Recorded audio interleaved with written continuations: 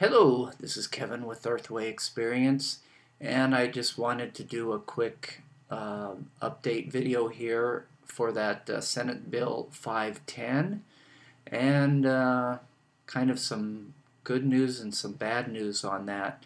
The 30th of uh, November, the Senate passed the bill and uh, the House has passed a similar bill and uh, it is going uh, to a process where they they will merge the two bills together.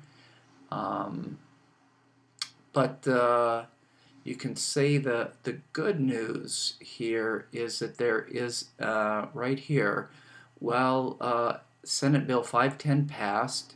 There's a, an amendment, a Tester-Hagan amendment, that recently added to the bill it excludes fa small farms and, and farms making less than $500,000 annually by allowing them to apply for an exemption.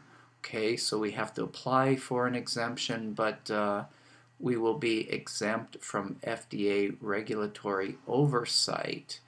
Um, so that could be a, a, a good thing. Um, but here we have the government, they have our ha their hands in everything and in the way we get our food and the way we get our water and everything. I'm not really so happy with uh, with this bill um, being passed. Um, but here is the uh, link.